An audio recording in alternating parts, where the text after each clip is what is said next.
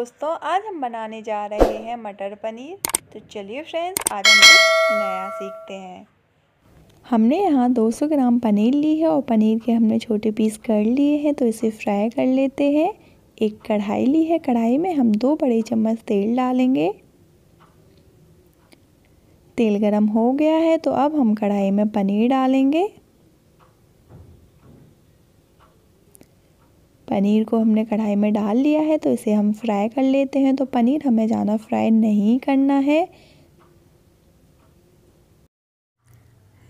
Paneer fry हो गई है तो पनीर को हमें हल्का ही फ्राई करना है। इसे हम एक प्लेट में निकाल लेते हैं। जिस तेल में हमने पनीर फ्राई की है तो उसी तेल में हम सब्ज़ी को बना लेते हैं। तो तेल गरम हो गया है तो सबसे पहले हम डालेंगे तेज पत्ता पिसी हुई प्याज तो प्याज में हमने आठ से दस लहसुन भी पीस लिए हैं साथ में। चम्मच से चलाते हुए प्याज को हम भून लेते हैं। प्याज हल्का भुन गया है तो अब हम इसमें डालेंगे अदरक लहसुन का पेस्ट। तो एक चम्मच के करीब हम अदरक लहसुन का पेस्ट डालेंगे। और दोनों चीज़ों को अच्छे से भून लेते हैं। जब तक इसमें से तेल अलग ना होने लगे तो आप देख सकते हैं तेल अलग होने लगा है। तो थोड़ी सी बारीक कटी हुई प्याज डालेंगे। इसे भी हम भून लेते हैं। तो अगर आप बारीक कटी हुई प्याज डालना चाहते हो तो डाल सकते हो। नहीं तो मत डालें। इसे हम भून लेंगे। तो बीच बीच में हम चम्मच से चलाते हुए प्याज को भून लेते हैं। प्याज भुन गया है तो अब हम डालेंगे सूखे मसाले। तो दो चम्मच हम धनिया डालेंगे, एक चम्मच लाल मिर्च और आधा चम्मच हम हल्दी पाउडर डालेंगे। अब हम डालेंगे पानी तो एक छोटी कटोरी हमने पानी डाला है। चम्मच से हम सभी चीज़ों को मिला लेते हैं और दो से तीन मिनट तक हम मसाले को भूनेंगे। आधा चम्मच डालेंगे हम लाल कश्मीरी मिर्च। इससे ना सब्ज़ी में बहुत ही अच्छा कलर आता है। तो हम मसाले को भून लेते हैं।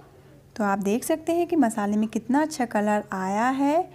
तो मसाले को हमें बहुत अच्छे से भूनना है। जब तक मसाले से तेल अलग ना होने लगे, पिसा हुआ टमाटर डालेंगे।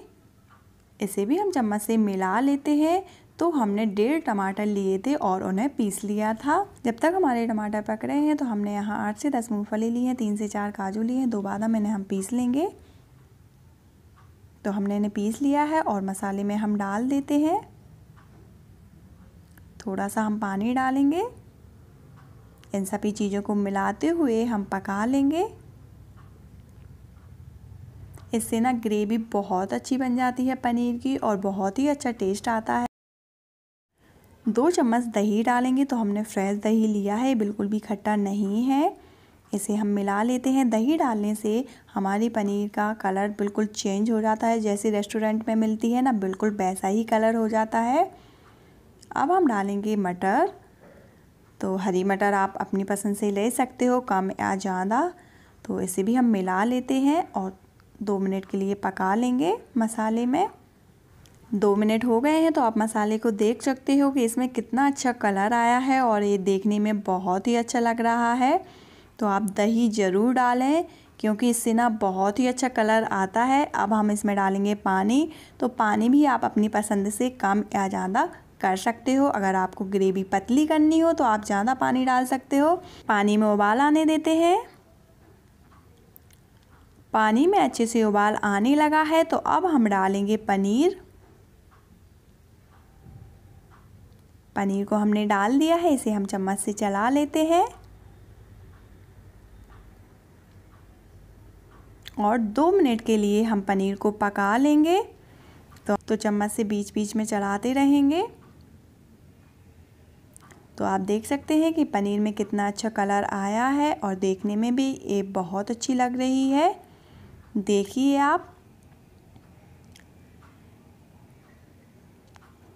तो दो मिनट हो गए हैं और हमारी पनीर बनकर तैयार है।